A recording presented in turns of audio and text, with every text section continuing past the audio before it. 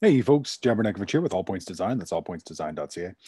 And today we're talking about the Oregon State University permaculture template. Specifically, we're talking about how to determine scale. Now, in the last tutorial, we talked about scale bars and about creating them. And now we're talking about how do we get a sense of how many units on this base map is how many units in real life? What is it scaled to? So whatever units you're working in, you'll want to unify your units across your entire template. And that includes what the template is based in under page setup. So I'm working in metric, uh, working in 10 meters. If you're working in feet or imperial, it's already set up for you. You don't have to do this step. And all I did was I went into file, page setup, and I changed the inches into centimeters. I just figured out what 17 inches was, which was 43.18, and what 11 inches was is, which is 27.94 put that into my page setup and pressed apply. Now, it I know it says inches, but it's now in centimeters.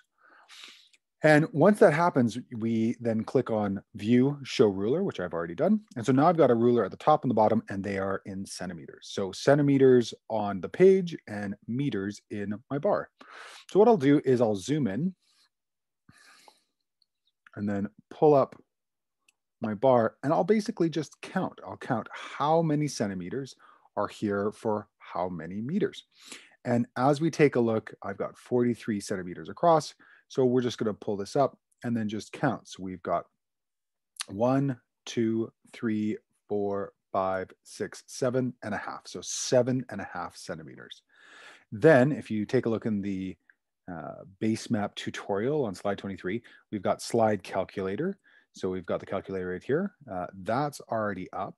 So what we're going to do is we're going to put in uh, distance on the map, 7.5 centimeters to 10 meters is to, we're going to remove the scale. This was a previous one I was doing, put in the real distance. So again, why is that? Because we've counted 7.5 centimeters to 10 meters. So again, 7.5 centimeters to 10 meters. If you're doing this in inches, you would say how many inches there were to how many feet most likely uh, is the scale that you probably worked in, and then calculate. And so we're 1 to 133. That's our scale. So I've been putting the scale here into uh, just my title bar, but you're welcome to put it just underneath the scale bar. Typically, that's where it is.